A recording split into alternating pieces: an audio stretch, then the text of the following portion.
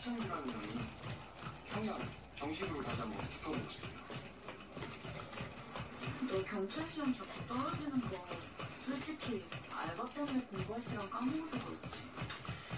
어쩔 수 없지 뭐. 중앙정보학 특집 포기한 건 왜 안 해? 왜 안 해? 그거 됐으면 시윤이 형하고 너하고는 명언을 못 보는 거잖아. 특히 저는 너.